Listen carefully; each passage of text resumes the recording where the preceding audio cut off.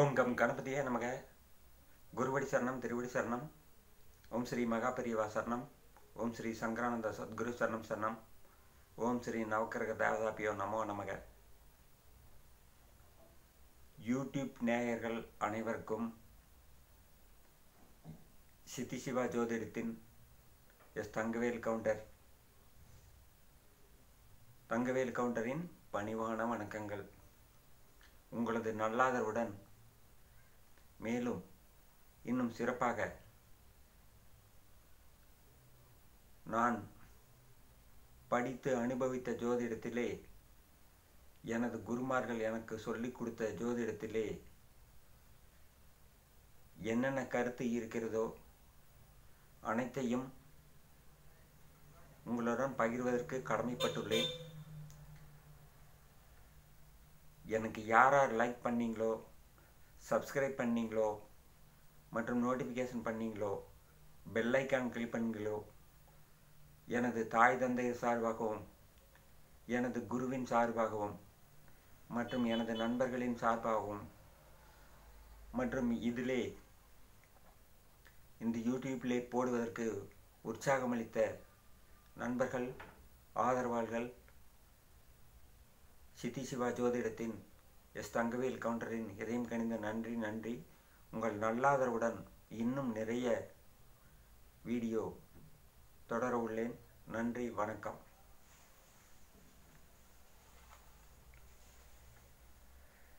இப்போ கோச்சாரத்தில் ராகு பகவான் மிதுன ராசிக்கு வாக்கிய கணிதப்படி பெயர்ந்திருக்கிறார். அதே மாசி மாதம் இருபத்தி ரெண்டாம் தேதி வாசன் பஞ்சாங்க திருக்கணித பஞ்சாங்கத்தபடி பேசி என்று கூறப்பட்டுள்ளது. பொதுவாக எந்த கருத்து அப்படின்னு சொன்னால் பழைய நூல்களில் ஒரு கிரகம் மாறுவதற்கு முன்னவே இந்த ராகு கேதுக்கு மட்டும் இப்பொழுது சொல்ல வேண்டிய ஒரு அமைப்பு இருக்கிறது. மூணு மாதத்துக்கு முன்னாடியே அடுத்த வீட்டு பலன். அதாவது வந்து ராகு கேது வந்து ஆன்டி கிளாக்வைஸ் அந்த மாதிரி இருக்கிறதுனால மூணு மாதத்துக்கு முன்னாடியே வந்து அவர் வந்து அடுத்த வீட்டினுடைய பலன். ஏன்னா பின்னோக்கி வர்றதுனால மிதினத்துக்கு உண்டான பலனை அவர் தருவார். அதே மாதிரி வந்து கேது பகவான் வந்து முன்னோக்கி அது தள்ளிட்டு வர்றதுனால அவர் அந்த மாதிரி ஒரு பலன் தான் தர வேண்டிய ஒரு அமைப்பு. சரி விஷயத்துக்கு வருவோம். ஜனனகால ராகுவிற்கு ஒன்பதாம் இடத்தில் ராகு வரு ராகு வந்திருப்பவர்கள் வரப்போகிறவர்கள் அதாவது வந்து ரெண்டு பஞ்சாங்கத்தையும் நான் வேண்டான்னு சொல்ல முடியாது. ரெண்டு பஞ்சாங்கத்தையும் யூஸ் பண்ணணும். எபுமரிஸையும் யூஸ் பண்ணணும். எல்லாம் தான் யூஸ் பண்ணணும். சொல்வது ஜோதிடர் கடமை. அந்த கடமை என்றால் இப்போ இந்த ராகு பகவான் வந்து மிதனத்துக்கு வந்திருக்கிறார். துலா ராசியில் ராகு இருக்கிறவங்களுக்கு ஒன்பதாம் இடத்தில் ராகு. அப்போ அது நன்மையான ஒரு சமாச்சாரம் என்று சொல்ல முடியாது. நீங்கள் உங்களுக்கு உங்கள் சக்தி அளவுக்கு ஒரு பரிகாரம் செய்து கொண்டீர்களானால் நல்லது. துளாராசியில் ராகு ஜனகாலத்தில் இருக்கப்பட்டவர்களுக்கு மட்டும்தான் இந்த வார்த்தை பொருந்தும். அது ஏன் அப்படின்னு கேட்பீங்க அந்த மாதிரி வரும்போது கொஞ்சம் உடம்பு சரியில்லாமல் தொந்தரவு சில இழப்புகள் வரும். இது உண்மையான விதி. துளாராசியிலே ராகு சந்திரன் இருந்தாலும் சரியே. அதே மாதிரி வந்து ராகு பகவான் தனித்து இருந்தாலும் சரி எந்த கிரகத்தோட கூடி இருந்தாலும் சரியே. அந்த ராசிக்கு வந்து ஒன்பதாம் இடத்தில் வந்து ராகு பகவான் அந்த ரவுண்டிங்கில் வந்திருக்கிறாரு. அதனால் நீங்கள் வந்து பார்த்து பக்குவமாக இருக்கும்படி ஜோதிடத்தின் வாயிலாக நான் உங்களை பணிவன்புடன் கேட்டுக்கொள்கிறேன்.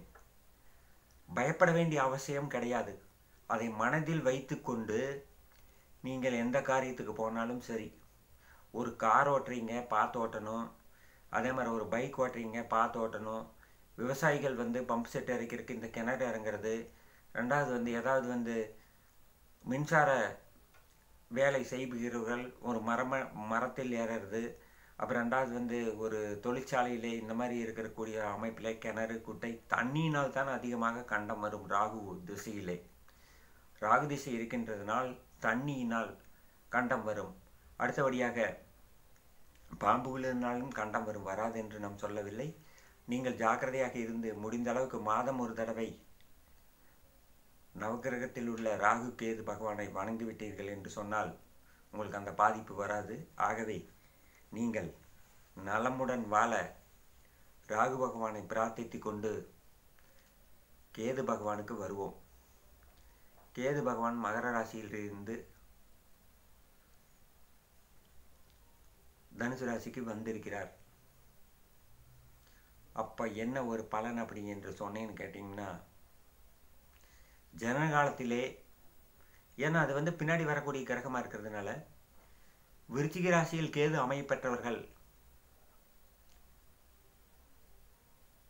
அதாவது ஜ அந்த கேதுவுக்கு ரெண்டாம் இடம் அப்படின்னு சொல்லும்போது ஆண்டி கிளாக் விசா இருக்கிறதுனால நீங்கள் வந்து அதை எடுத்துக்கிறது ரொம்ப நல்லது. ஏன்னா ராகு பகவான் வந்து அப்படியே தள்ளிட்டு வர கேது பகவானை. இப்போ கேது பகவான்லேருந்து போகிறதில்ல அப்போது ரெண்டாம் இடத்துல கேது அப்படின்னு சொல்லும்போது விருச்சிகி ராசியிலே கேது இருக்கப்பட்டவர்கள் ரொம்ப ஜாக்கிரதையாக இருக்க வேண்டும். முடிந்தளவுக்கு நாயிடம் மிக ஜாக்கிரதையாக பழக வேண்டும். நாய் வளர்த்துறவங்க ரெண்டாவது வந்து இந்த என்னன்னு சொன்னால் ஒரு சில கீழ்குல மக்கள் அப்படின்னு சொல்ல வேண்டியது நம்ம வந்து எல்லாத்தையுமே தரக்குறைவாக சொல்ல முடியாது. அவங்கக்கிட்ட வந்து பழகிறது அப்புறம் ரெண்டாவது தேவையில்லாமல் வந்து இது பண்ணுறது ஒரு சாமியாரை வந்து தூசிக்கிறது ஜோதிடரை வந்து தூசிக்கிறது இதெல்லாம் வச்சுக்காதீங்க. அது வந்து நான் என் ஜோதிடர்னு சொல்கிறதுனால நான் சொல்ல வேண்டிய அவசியம் இல்லை. அது சொன்னீங்கன்னா கேது அப்படின்னாவே ஞானக்காரகர் என்று பெயர். அந்த ஞானக்காரகர் வந்து அந்த ஜனனகால கேதுவுக்கு அவர் ரெண்டாம் இடத்தில் இருந்தால் அந்த மாதிரி அதாவது கேதுவுக்கு ஜனன அந்த வரக்கூடிய கேதுவுக்கு வந்து ரெண்டாம் இடத்துல வந்து ஜனன கேது இருந்ததுன்னு சொன்னால் கொஞ்சம் பாதிப்பு அதிகமாக இருக்கும். நீங்கள் முடிந்தவரை ராகு பகவானையும் கேது பகவானையும் வழிபட்டு வாருங்கள். உங்களுக்கு தீமை அகலும் அதே மாதிரி வந்து அந்த மாதிரி இருக்குது அப்படின்னு சொல்லிட்டு சொன்னால் கொஞ்சம் பார்த்துருக்கணும். கரண்ட்டு எலக்ட்ரிசிட்டி வேறு இந்த குடும்ப பிரச்சனை இதெல்லாம் வந்து அதிகமாக தலை தூக்குற மாதிரி இருக்கும். நீங்கள் வந்து வழிபட்டுட்டு வந்துட்டு கொஞ்சம் அமைதியாக இருந்தால் நல்லது. வேற ஒன்றும் தப்பு வராது. அந்த மாதிரி சொல்ல வேண்டிய ஒரு அமைப்பு. சரி பூகம்பம் வரும். மற்ற வந்து இடியினால் பயம் வரும். இடி இடிக்கும் கரண்ட்டினால் பயம் வரும். அந்த மாதிரி அதிகமாக தூக்கம் கட்டி விடாதீர்கள். உடம்பை கவனமாக பார்த்துக்கொள்ளுங்கள் இந்த அதாவது வந்து இந்த கேது தனுசு ராசியில் இருக்கிறதுனால விருச்சி ராசியில் ஜனகாலத்தில் இருக்கக்கூடிய கேதுக்கு மட்டும்தான் பலன் சொல்லியிருக்கிறேன். அதே மாதிரி வந்து துலா ராசியில் இருக்கக்கூடிய ராகு பகவானுக்கு பலன் சொல்லியிருக்கிறேன். ஜனன காலத்தில் நீங்கள் எப்போ பிறந்தீங்கன்னு அது வந்து உங்கள் ஜாதகத்தில் வந்து நீங்கள் வந்து தெரிஞ்சுக்குங்க கேட்டுக்குங்க. அப்படி பண்ணாது இப்படி பண்ணாதுன்னு சொல்ல முடியாது. உண்மையான விதியைத்தான் நான் சொல்கிறேன். ஆகவே நீங்கள் அனைவரும் வளமுடன் வாழ. சித்தி சிவா ஜோதிடத்தின் எஸ் தங்கவேல் கவுண்டர் நன்றி வணக்கம். எனக்கு யூடியூப்பிலே என்னுடைய வீடியோவை பார்த்தவர்கள் மற்றும் ரசித்தவர்கள் அவர்களுக்கெல்லாம் எனது இதயபூர்வ நன்றி. உங்களது நல்லாதருடன் வீடியோ மேன்மேலும் தொடரும். நன்றி வணக்கம்.